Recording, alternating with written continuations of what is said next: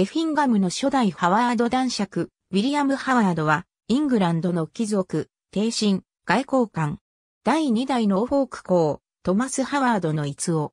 ヘンリー・パッセイからエリザベス一世までのチューダー朝の宮廷に仕え、海軍卿や王室家政長官、王璽尚書などを歴任した。1554年にエフィンガムのハワード男爵に叙された。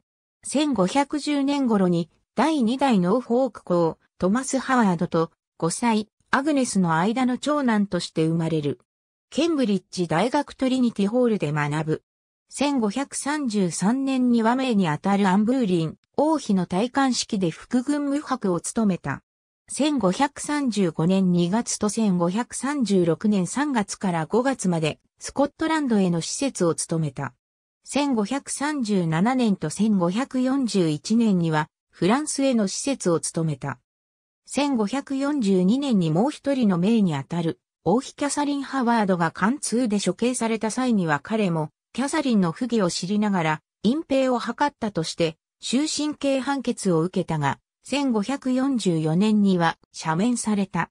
1552年から1553年までカレー総督を務めた。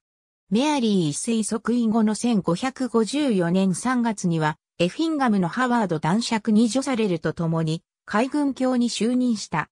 同年のワイアットの乱の際にはロンドン防衛にあたりハントのロンドン入場を阻止した。一方、欧米エリザベス王女がワイアットの乱に加担したとの容疑を受けた際には王女を擁護した。1558年にエリザベス一世が即位すると王室家政長官に転じた。1559年には加藤カンブレジ条約の交渉委員を務めている。